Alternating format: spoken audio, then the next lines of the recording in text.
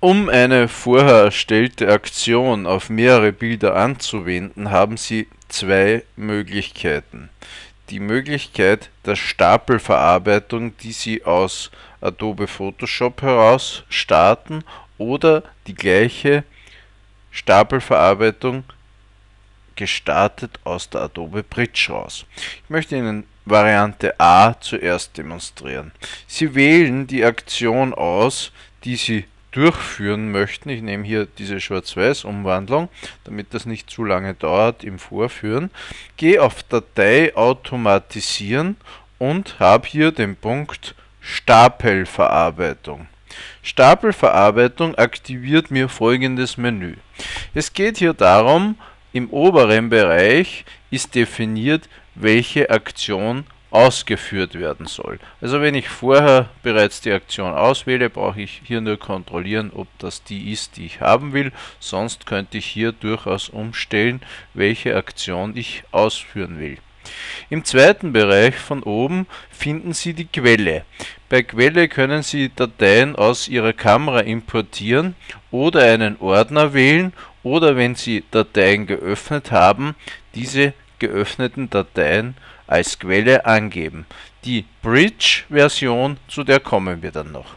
Ich gehe hier auf Ordner, muss hier einen Ordner auswählen, um eben alle Bilder, die sich in diesem Ordner befinden, umzuwandeln. Ich gehe hier auf meinen Kapitel 1 Ordner aus den Aktionen habe hier noch verschiedene Varianten, dass ich sagen kann, okay, sollte in meiner Aktion ein Schritt öffnen vorkommen, dass der überschrieben wird, gibt es in diesem Ordner Unterordner, dass die mit eingebunden werden.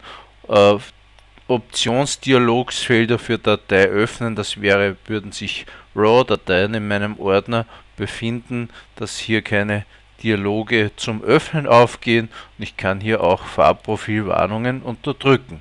Also wir wissen jetzt, diese Aktion wird durchgeführt, wird auf alle Bilder dieses Ordners hier angewandt und Ziel kann ich mich für drei Dinge entscheiden. Ziel ohne hieße, die Dateien werden geöffnet, die Aktion wird durchgeführt und die Bilder bleiben im Photoshop einfach geöffnet, um weiterarbeiten zu können. Speichern und schließen müssen Sie sehr gut überlegen. Es werden die Bilder geöffnet, die Aktion wird ausgeführt und die Originaldateien werden überschrieben. Also ganz mit Bedacht und Vorsicht, wenn Sie diese Aktion ausführen, am besten vorher die Bilder in einen anderen Ordner kopieren, weil die Originaldateien sind dann überschrieben. Am meisten Sinn hat die Version mit Zielordner, das heißt, ich wähle hier einen neuen Ordner. Ich erstelle mir hier geschwind einen neuen Ordner am Desktop und äh, klicke den an. Okay, ich kann hier immer noch kontrollieren, ob das eh der richtige Ordner ist, wo ich die Bilder dann hinhaben will. Zum Bereich Speichern und den Aktionen überschreiben komme ich dann in einem späteren Tutorial. Ich könnte die Dateien hier auch noch umbenennen. Wesentlich ist aber, diese Aktion wird auf diese Bilder angewandt und die kommen dann hier in einen neuen Ordner.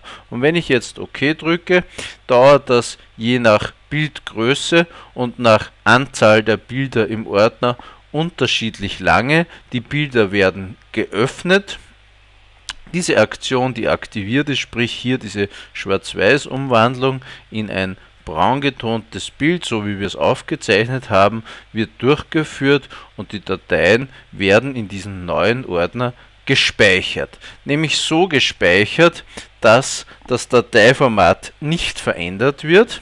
Das ist wichtig.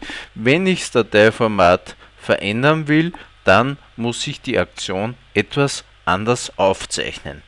Dazu mehr in einem der nächsten Kapitel. Natürlich hätten wir auch eine Aktion auswählen können, die hier dieses Verbessern 1, die unterbrochen ist. Da ändert sich in der Stapelverarbeitung gar nichts. Ich habe hier meinen Ordner fertig, wo sich jetzt diese braun getonten Dateien alle drin befinden, weil diese Aktion auf all diese Bilder angewandt wurde.